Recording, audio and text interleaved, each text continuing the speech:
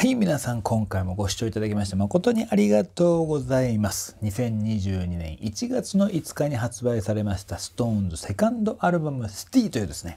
えーアルバムの頭から楽曲を聴かせていただきながら勝手に私がいろんなことをお話ししていく動画いよいよ初回版 A そして初回版 B の楽曲が全て終わりまして今日からは通常版にのみ入っている楽曲3曲を聴かせていただいてもう残りだからあと3曲でおしまいというところまでやってきてしまいましたけれども今日はですねカセットテープという歌に行ってみたいと思うんです。はいもう今の時代はねもしかしたら何すかそれっていう方も若い子はいるかもしれないですけども今もうね CD が主流になってもそれ以降はもうね配信っていうね MP3 みたいなこうストリーミングという聞き方になってきましたけれどもその前には MD というものがありましてね、えーすぐ終わってしまいましたけどもそしてその前が音楽を聴く時には普通にカセットテープという時代があったわけですね。その前にはレコードみたいなのもありましたけどもそのカセットテープ本当に今の若い子知らない子たちにどういうものだったかと説明するとね不便なことばっかりなんですけども でも A 面 B 面とあってね懐かしいじゃないですか。はい、えーそんなタイトルのついたこの楽曲をですね今日は聴かせていただきたいと思います。それでは、えー初回版でいうとトラックの番号が17曲目という形になりますかね。行ってみましょう。SixTONES のアルバムの曲カセットテープ再生ポン。カチャッとね押してる音が今しました。オダクセナズセ英語です。エレライタエレテクリステープ。ウェシャカリワイオダテクタイム。ジェシーから歌い始めてますよ。でーん。デネハソバスここはジュリ君。いい色っぽい声。エレピデテル高めの音の響きがいいね。君がいない。ソロに。アドバイスアドバイス yeah What the hell had supposed to? I used to act like a fool.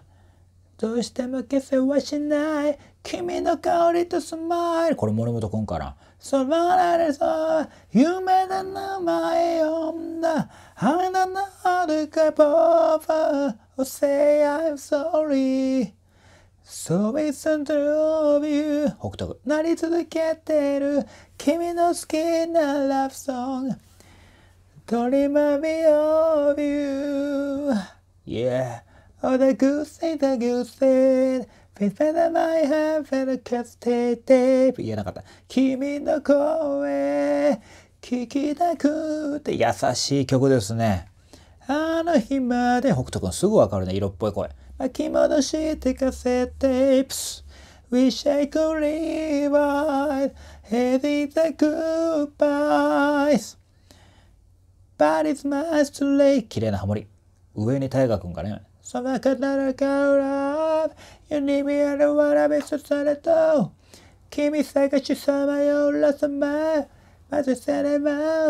I wish I could come back 君傷つけた words いい発音分かってたのに Your words You are so much more コーチ君から Cause I'm me さあ大河君あなるさの前を。北斗君から？君ラブソン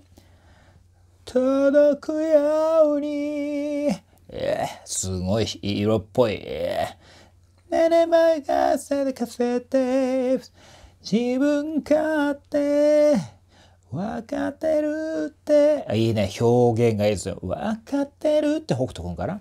巻き戻してカセットテープ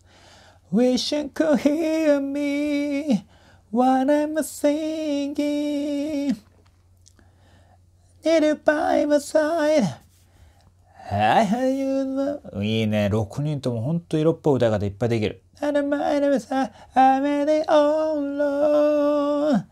じゃあ、It's kind of like on the rock song ちょっとコード進行変わってきましたよ。二人のこと難しいハモリ。若かったと言っていますね。笑える日が来たら so good Now I'm a vision of myself That's all the way 大学また高いよこれまた。焦って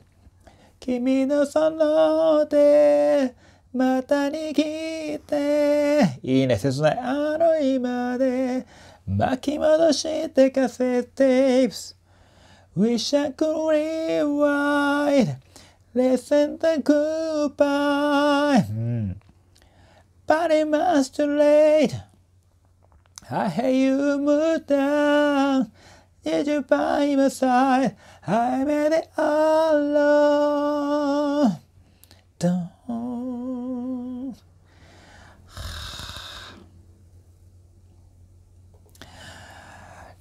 あのこれはねまひらがな4文字で言ってしまうと切ない。切ない曲です。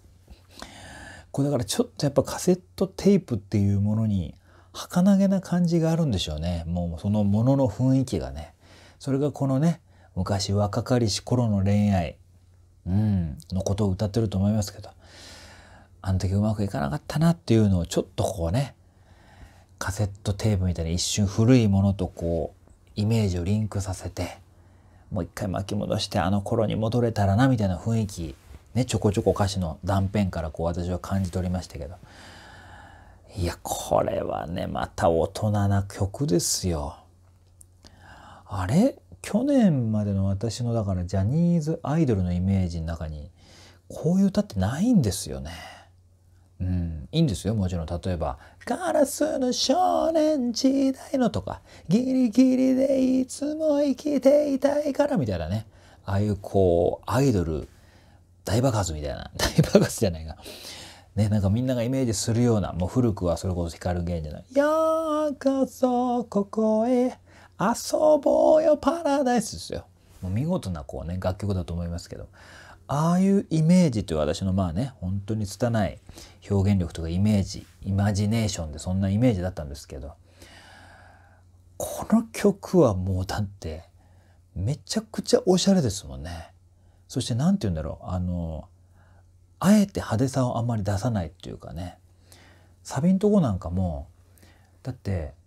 メロディーほとんど動かないですもんね。ダダダダラダダダダダダダダみたいな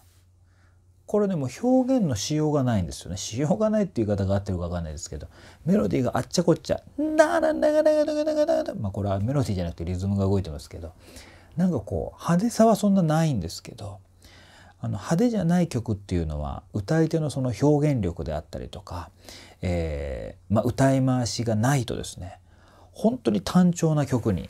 なってしまってまあ、聴いてる方はもちろん歌ってる方もちょっとこう飽きてしまうみたいなそういうことになりかねないんですけどこの曲なんかは曲だけ聴くと結構ねシンプルに聞こえますけど「ダラダダララララ」とか途中でもちょっとね私は表現力表表表表表うまく言えないな。表現力が豊かだなという言い方しましたけど「な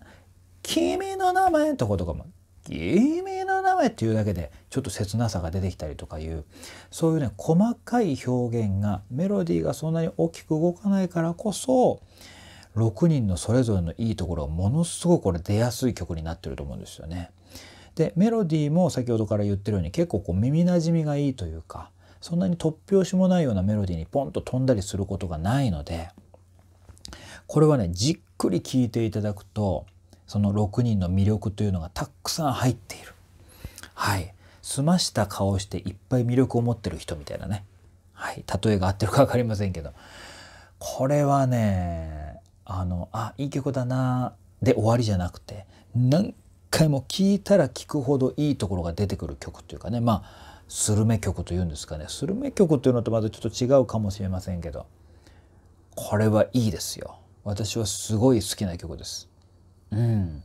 でなんかいろんなこうリズムに乗った曲難しい曲ダンスする曲っていうのがあった後にこれがスポッとこうね、えー、初回版じゃないわ通常版の17曲目に入ってくる SixTONES のアルバムのかっこよさみたいなとこありますよ。